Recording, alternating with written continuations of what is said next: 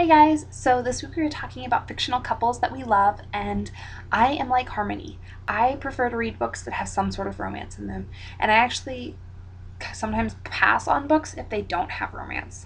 I just find that romance makes books so much easier to read, and um, I'm okay with a simple romance with maybe just a kiss or two every now and then, but I do love some steamy romances, and I actually have a couple on my list, so I'll go ahead and get started.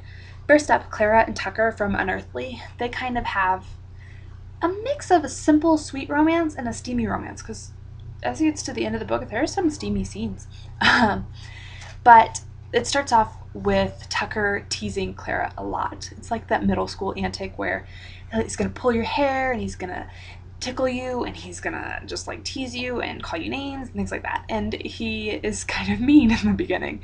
And I say mean and not like an abusive mean, but just in a teasing mean. Um, he nicknames her Carrots on their first encounter because she has accidentally dyed her hair orange. And from then on, they cannot stand each other, or that's how it seems. But things quickly change for them, and their romance is just one of my favorites because it's so sweet. And Tucker is the perfect gentleman, so romantic, and I love him. I want one. so, anybody who's Team Christian, just don't talk to me. just kidding, I still like you guys. Um, Lola and Cricket from Lola and the Boy Next Door. Of course, I have to mention this book. Um, Cricket doesn't seem like a sexy name, like at all. I mean, it's a bug but Cricket is like the perfect guy, and I love him.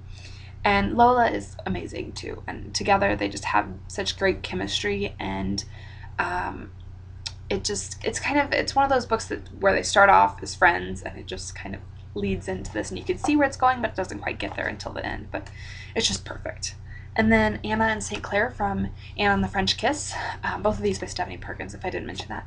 Um, they have the same thing where going where they are friends for quite some time before anything happens.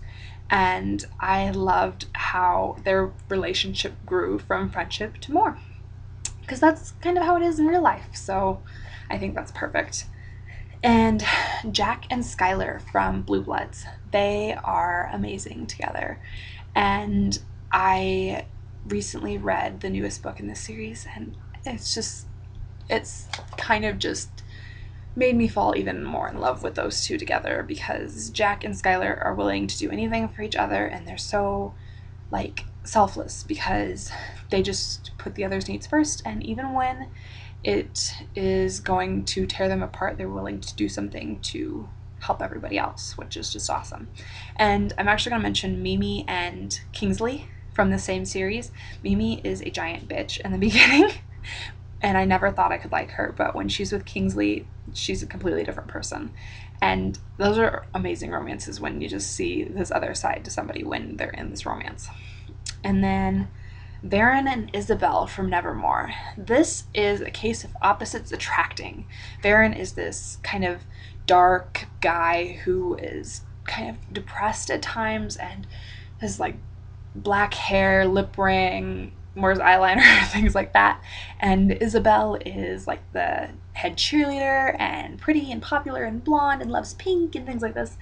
And you can never see them together. And then when they are together, they're just so perfect. I I love that book, and I really think the romance is one of the big reasons why I love that book. There are other reasons, but the romance is just awesome.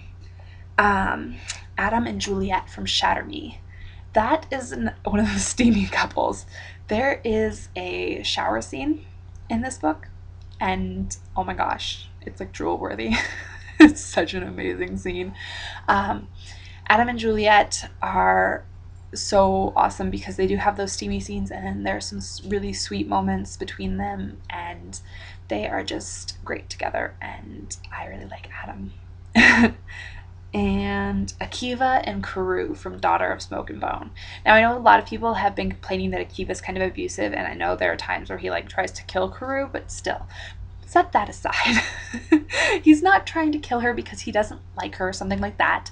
He just doesn't realize who she is.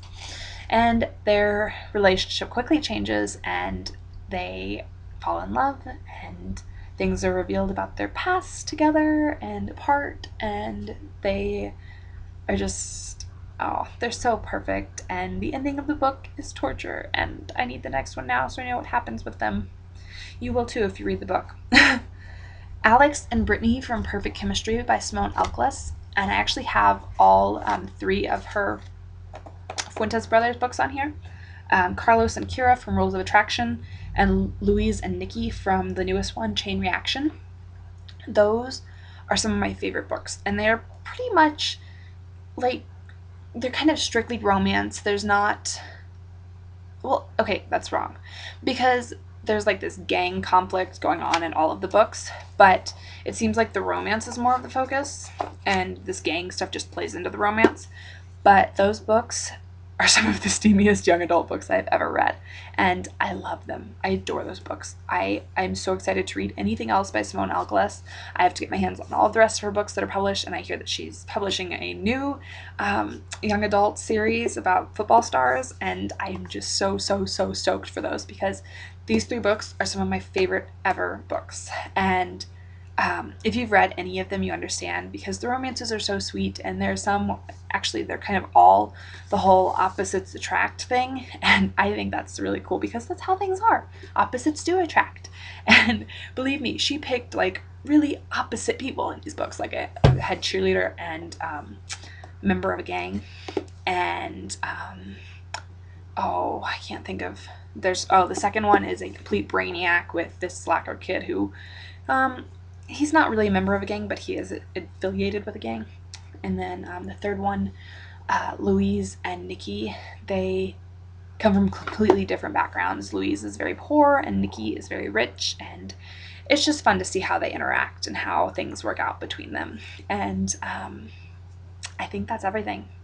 I really, I really love romances, and I have a lot more fictional couples that I could talk about, but I'm not going to, just because I know a couple of them that other girls already mentioned, so I'm not going to repeat them. But those are my favorites, and I hope you agree with me on some of them. And if you haven't read the others, I hope that this will encourage you to pick them up.